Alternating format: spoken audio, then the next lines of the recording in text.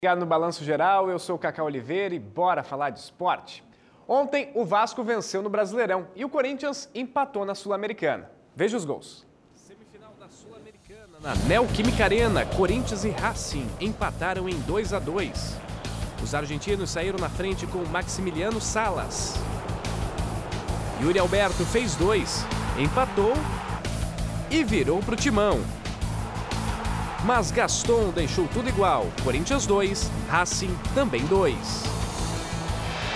São Januário, rodada atrasada do Brasileirão. Vasco venceu Cuiabá por 1 a 0. Hugo Moura fez o gol da vitória vascaína. Tá aí os gols então de ontem, quinta-feira também de futebol. A gente vai receber aqui nos estúdios do Balanço Geral o presidente Tarcísio Guedin do Marcílio Dias, ele que está no mandato e domingo tem jogo importante, né, Guedin? Mas antes vamos falar da campanha Copa Santa Catarina. Boa tarde, bem-vindo. Boa tarde, Cacá, boa tarde a todos. Uma campanha, uma campanha feliz, né? Conseguimos uma classificação, um campeonato difícil, né? Começou bem disputado, tivemos duas equipes muito fortes fora desse campeonato, que é o Joinville e o Figueirense conseguimos uma classificação. Agora é com tudo para as semifinais. Legal. O presidente, a gente está na Copa Santa Catarina e a importância do torcedor. A gente tem algumas imagens também de arquivo da torcida do Marcílio, que é importante estar no jogo desse domingo, 16 horas. Quanto é importante que o torcedor compareça ao jogo? Cacá, nós tivemos no Campeonato Brasil, eh, na Libertadores desse ano agora, a gente viu que os jogos, os primeiros jogos, estão meio que decidindo já a questão do mata-mata, né? Então é fez cinco, fez cinco. Galo três. Então é importante o torcedor estar presente nesse domingo junto conosco, apoiar o time, vibrar do começo ao fim, que com certeza o nosso elenco ele vai dar, vai dar retorno em campo, mas o torcedor junto com certeza é algo a mais. A gente tem a questão do Márcio Coelho, o time está fechado com o técnico?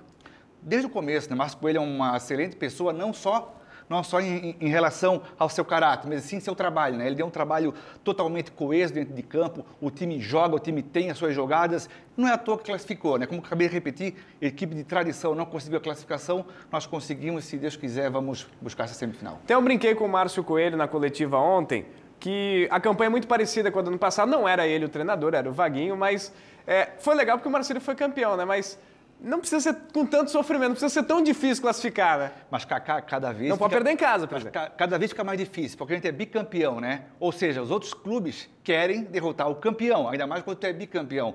E o nosso time, querendo ou não, ele entrou com o status de favorito. Isso dá um peso a mais também. Mas conseguimos mostrar em campo o seu favoritismo. Eu acredito que na semifinal nós vamos estar com um time bem forte e vamos conseguir.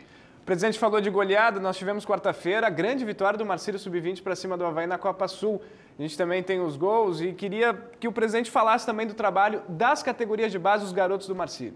A, a, a categoria de base do Marcílio Dias, né, toda a sua, a sua comissão e os atletas, é, é um orgulho do Marcílio Dias. Né? A gente Desde o ano passado a gente veio conversando sobre a importância da base no clube de futebol e principalmente do Marcílio Dias, né? Ano que vem nós vamos ter a continuidade, né? Vamos ter o 15, o 17 e o 20.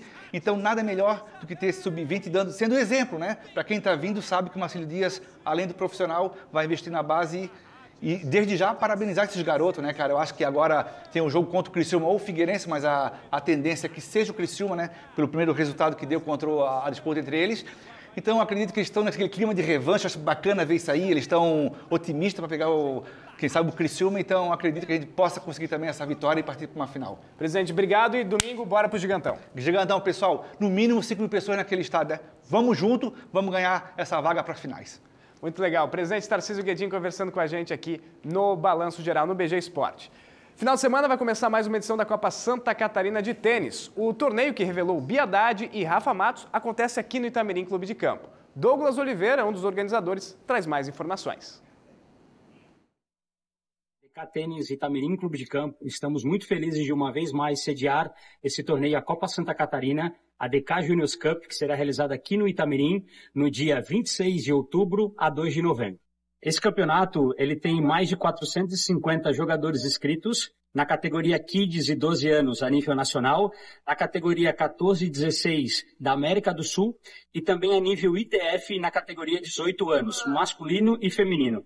Na categoria 18 anos masculino, a gente tem como destaque o Pedro Dietrich e o Leonardo Stork e também na, na 18 anos feminino, a gente tem a brasileira Stephanie Lima e também a argentina Lara Quaglia. A gente então convida você a vir prestigiar esse grande evento que acontece todos os anos aqui nas quadras do Itamirim Clube de Campo, onde a entrada é gratuita e você pode vir assistir e torcer para os nossos jogadores brasileiros e todo o evento. Show de bola. Para a gente fechar o esporte, nota triste, ontem perdemos Adilson Maguila, multicampeão do boxe. O atleta sofria de demência pugilística. A doença foi diagnosticada em 2013 e é muito parecida com o mal de Alzheimer. Esse médico neurologista explica que o problema é consequência das pancadas na cabeça que o lutador sofreu ao longo dos 17 anos de carreira. Todo atleta dessa, dessa modalidade que vai ter esse tipo de trauma, existem é, formas de se você prevenir, né, se protegendo, utilizando ah, os protetores que se utiliza hoje para o esporte, por exemplo, não competitivo, para que você não desenvolva essa doença. Mas os sintomas, em geral, demoram alguns anos para acontecer.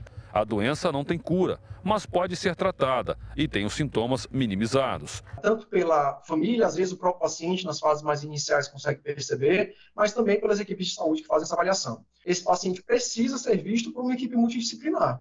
Então, a fisioterapia, a fonoterapia, a terapia ocupacional e a psicoterapia são fundamentais para que esse paciente tenha uma melhor resposta. Cosme Rimoli, colunista de esportes do R7, conta que ao lado de Eder Joffre, Maguila colocou o boxe brasileiro na vitrine mundial. Diz também que o pugilista vai deixar um espaço difícil de ser preenchido no boxe do país.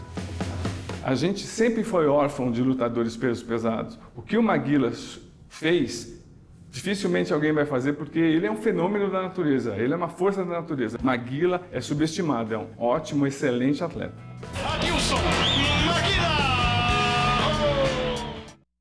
Maguila, Maguila é herói do nosso esporte.